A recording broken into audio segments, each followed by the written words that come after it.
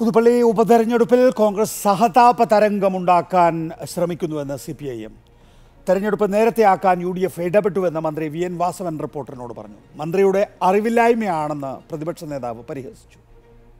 രാഷ്ട്രീയം ചർച്ചയാകുമെന്ന് പ്രതിപക്ഷം പറയുമ്പോഴും ഉമ്മൻചാണ്ടി എന്ന വികാരമായിരിക്കും യു ഡി എഫിന്റെ തുറുപ്പുചീട്ടെന്ന് സി പി എം തിരിച്ചറിയുന്നു. തെരഞ്ഞെടുപ്പിൽ യു ഡി എഫ് സഹതാപം മുതലാക്കാൻ ശ്രമിക്കുന്നുവെന്നാണ് സി പി എമ്മിന്റെ വിമർശനം. സഹതാപം വോട്ടാക്കി മാറ്റാൻ തെരഞ്ഞെടുപ്പ് നേരത്തെയാക്കാൻ പോലും യു ഡി എഫ് ഇടപെട്ടു എന്നാണ് മണ്ഡലത്തിന്റെ ചുമതലയുള്ള മന്ത്രി വി എൻ വാസവൻ ആരോപിക്കുന്നത്.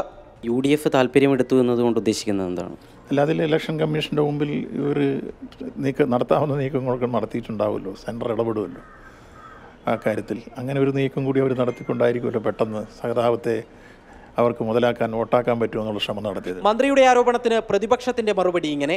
അത് അദ്ദേഹത്തിന് അറിവില്ലായ്മ കൊണ്ട് പറയുന്നതാണ്. ഇന്ത്യയിലെ മറ്റ് സംസ്ഥാനങ്ങളിലെ അസംബ്ലിയിലെ ഉപതെരഞ്ഞെടുപ്പ് നടക്കുന്നതിന്റെ കൂടെ ഈ വേക്കൻസി ഇവിടെ നിന്ന് അസംബ്ലിയിൽ നിന്ന് റിപ്പോർട്ട് ചെയ്തേക്കുന്നതുകൊണ്ട് വേക്കൻസി ഉള്ള എല്ലാ സ്ഥലത്തും ഇലക്ഷൻ കമ്മീഷൻ ചെയ്തതിന് ഞങ്ങൾ എന്റെ ഇടപെടൽ നടത്താണ് തെരഞ്ഞെടുപ്പ് ചർച്ചകൾ രാഷ്ട്രീയ വിഷയങ്ങളിൽ കേന്ദ്രീകരിപ്പിക്കാനുള്ള ശ്രമത്തിലാണ് സി പി എം കണ്ണീരിന്റെ അണകെട്ടി ഈ രാഷ്ട്രീയ ഒഴുക്കിനെ നിയന്ത്രിക്കാമെന്ന് ധരിക്കരുത്. ഇതൊരു രാഷ്ട്രീയ പോരാ പോരാട്ടമായിട്ട് തന്നെ ഞങ്ങൾ എടുക്കും.